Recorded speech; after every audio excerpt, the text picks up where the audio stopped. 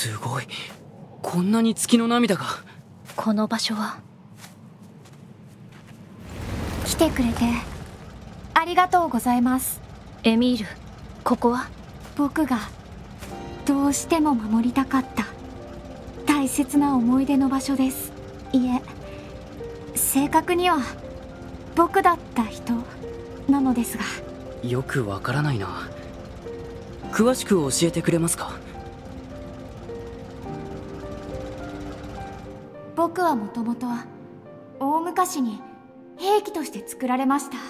ありとあらゆる環境に適応し殲滅するための兵器の一部として。兵器だったのか。エイリアンとの戦いが始まった時僕は自己増殖による兵力増強を行いました。自己増殖？はい。僕は複製された無数のエミールのうちの一人です僕は僕たちはお互いに協力し合うことでなんとか防衛線を維持していました。しかしそうやって何百何千とコピーされていくうちに僕たちの記憶は薄まっていったのです。ここはもともとのオリジナルのエミールが好きだった場所。ずっと昔。大好きな人たちと一緒に過ごした場所。辛いことも悲しいこともたくさんあったけれど。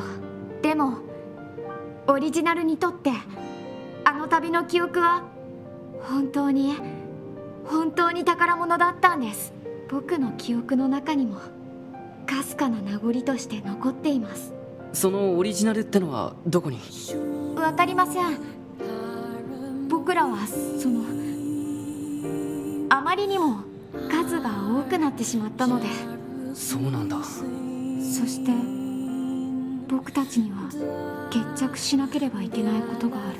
え？ああそうだ。これまでのお礼にこれを渡そうと思ってたんです。どうか受け取ってください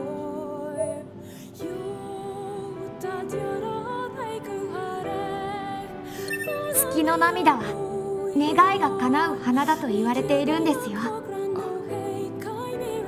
ありがとう。僕の方こそ。ありがとうございました。